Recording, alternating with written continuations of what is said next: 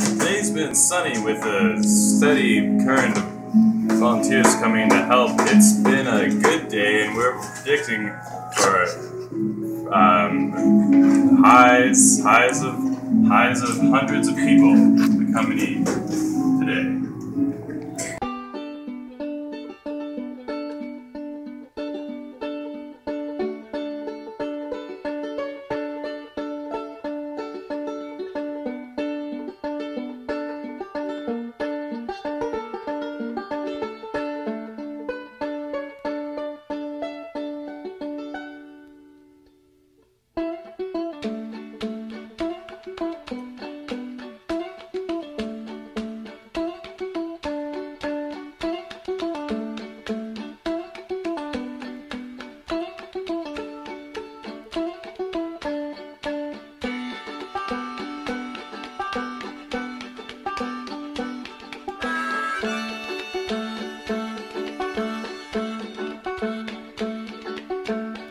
Tasted sweet when I was the bad twin.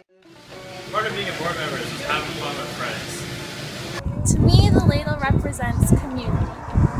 Um, to me, the ladle is somewhere I can go when I just need a space away from everything else. The ladle to me is a conversation starter. The ladle means learning how to organize in a non-hierarchical structure. To me like another family, for better or worse. So yeah, the ladle is an awesome, uh, diverse place where you can learn a bunch of stuff. For me, the ladle is about learning cool things like how to create a safe space or how to cut a cabbage. Julian, what are you doing?